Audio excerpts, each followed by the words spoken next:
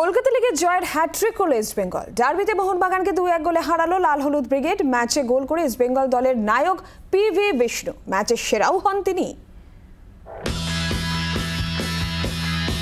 ডার্বিতে নায়ক হওয়া যায়, আবার ভিলেনও। শনিবারের ডার্বিতে নায়ক হয়ে উঠলেন ইস্ট বেঙ্গলের বিষ্ণু। তার গোলেই এগিয়ে যায় ইস্ট বেঙ্গল। একান্ন মিনিটের মাথায় বক্সের মধ্যে লম্বা বল ধরেন বিষ্ণু। তখন বিষ্ণুকে ঘিরেছিলেন মোহনবাগানের দুই ডিফেন্ডার, রাজ বাঁশফোর এবং প্লান মার্টিন্স। কিন্তু বিষ্ণু স্কিলের কাছে দুজনই ধরাশায়ী। পায়ের সূক্ষ্ম দুটি টাচে দুজন ডিফেন্ডারকে কাটিয়ে ডান পায়ের শটে গোল করে দলকে এগিয়ে দেন বিষ্ণু।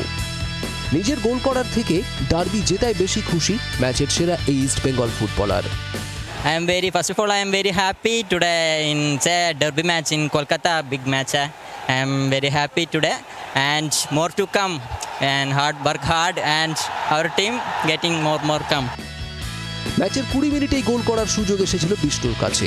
মোহনবাগান বক্সে দুরন্ত পায়ের কাজ থেকে বিষ্ণুকে পাস দেন অমন। কিন্তু বল জালে জড়াতে পারেননি বিষ্ণু। ব্যুরো রিপোর্ট জি চব্বিশ ঘণ্টা।